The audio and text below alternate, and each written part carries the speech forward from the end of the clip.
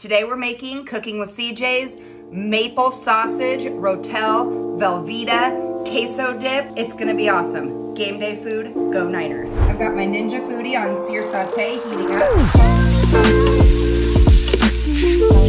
Now we're gonna turn it down to slow cook.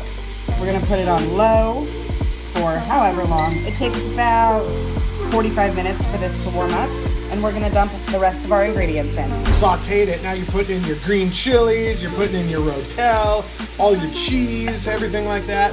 You're just gonna crock pot it on low all day until it's just greatness. Pepper jack, the smoked Gouda. That cheese doesn't need to go in the fridge. We're gonna let it cook for about 15, 20 minutes and every 15, 20, we're gonna give it a stir. Okay, babe, it's been an hour. Oh, the smells. Your favorite dip. Babe score? 100 out of 10. 100 out of 10!